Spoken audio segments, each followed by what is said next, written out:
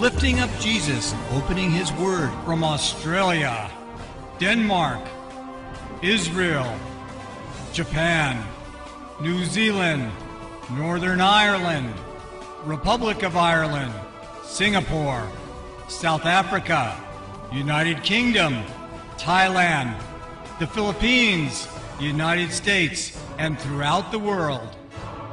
You're watching Moriel TV.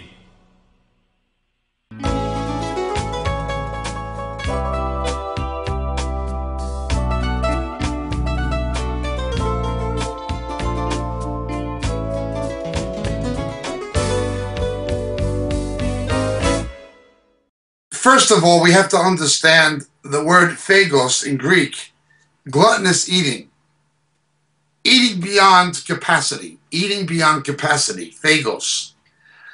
To understand phagos, it's better to go to the Old Testament. Their God is their stomach. Their God is their stomach. I agree this is a major problem among many Christians. We don't get drunk anymore. We don't take drugs anymore. We don't fornicate anymore. But eating is not a sin. So that's the one pleasure left, except that there's a propensity in the Western world to do it to excess. I'm not a one to talk. Take a look at my weight. I'll explain it, but take a look. I used to be thin. I used to be thin. Now I'm a half a rhinoceros. Well, there are different kinds of obesity. We always have to be careful. There's dietary obesity, there's glandular obesity, and there is lymphatic obesity. The overwhelming mass of obesity is diet related in the Western world, dietary obesity. Some people tend to have large bones, tend to be heavier anyway due to genetic predisposition. But when you're talking about serious obesity in the developed world, it is usually dietary related, but not all. I know a pastor's wife. The pastor's now gone to be with the Lord in the United States. Um, she's actually uh, a very nice person, but she suffered a postpartum glandular disorder after having a baby. She has a leptin deficiency. Her body does not make leptin.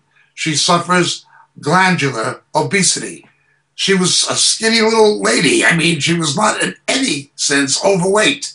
But after one of her pregnancies, she developed this glandular condition, and she is the Goodyear blimp. It is extremely taxing to her health. She's had operations and so forth, but it's nothing to do with diet. No amount of diet or dieting is going to cure what's wrong with her. She suffers from glandular obesity. We must be careful. When you see an extremely obese person, their problem may not be dietary, it may be glandular. Do not assume the sin of gluttony. In my own case, prior to my accident, I was a rather thin person. After my accident, I began gaining weight. What we did not know until I nearly died in, in 2015 of cellulitis and liver and kidney failure caused by the cellulitis was that I have what's known as lymphatic edema. Lymphatic edema caused by atrial fibrillation, caused by a heart condition and circulatory deficiency into my lower extremities and gut and other places. What you see under my eyes, this is not fat. This is fluid. What's in my ankles, in my feet, I was just pumping the fluid out of my legs yesterday. I have compression pumps that I actually have to pump the fluid to get my legs mobilized. What's in my legs, what's in my lower abdomen, and my ankles and feet is a, a protein concentrated uh, or protein saturated interstitial fluid in the lymphatic tissue. It's called lymphoedema, lymphatic edema. I was in hospital for seven weeks, hardly eating anything. My weight went down a bit, but it didn't cure it. Now, overeating would make my condition worse. But not eating at all wouldn't make it any better. My weight is not fat. My weight is not diet related. My weight is from lymphoedema. It's not fat, it is protein soaked fluid that predisposes me to cellulitic infection. The lymphatic vascular system or lymphatic vascular structures in my legs and lower gut are all obstructed and clogged due to lymphoedema.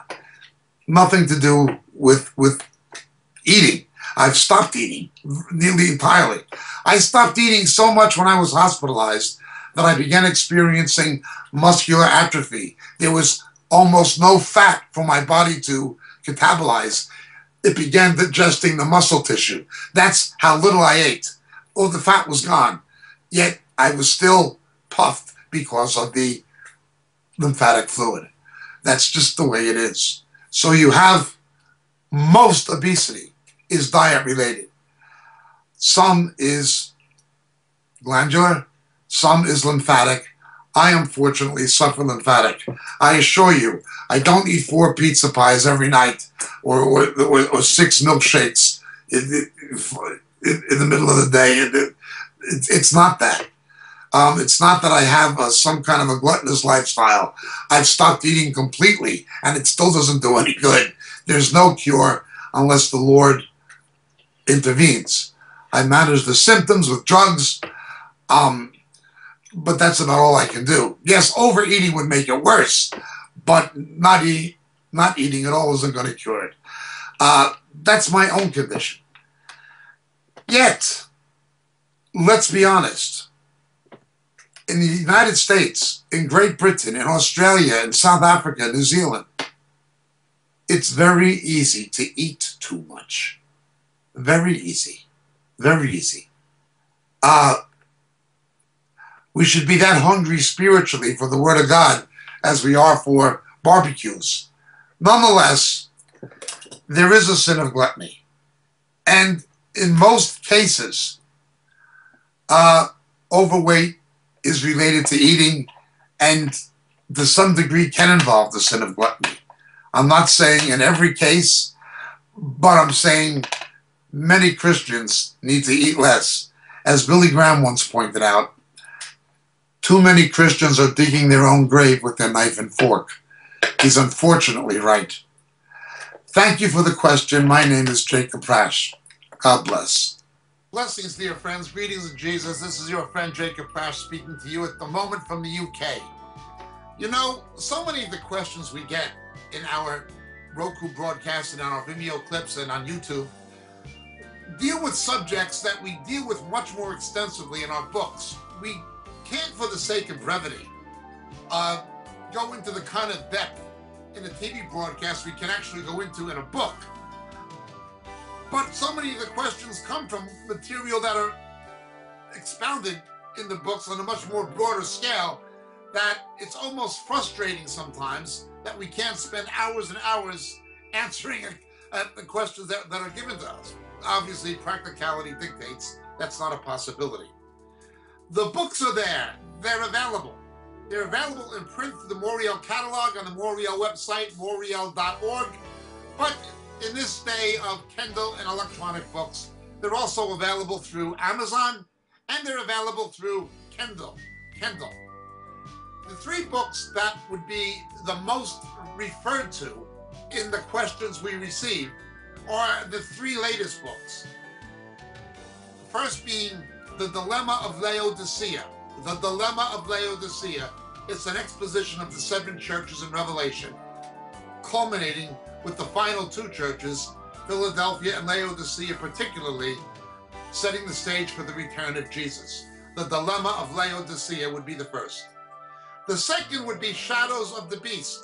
Shadows of the Beast. How the coming Antichrist, how his identity will be revealed to the faithful church. The rapture will not happen. Will not happen, absolutely not happen, until the faithful church knows who the ultimate beast of Revelation is. That is the Antichrist and also the false prophet. How the identity of the coming Antichrist will be revealed to the faithful church. Shadows of the Beast, the second book. And the final and latest one, Harpazo, Harpazo, what the scripture actually teaches about the rapture, the snatching away which takes place between the sixth and seventh seals in the book of Revelation.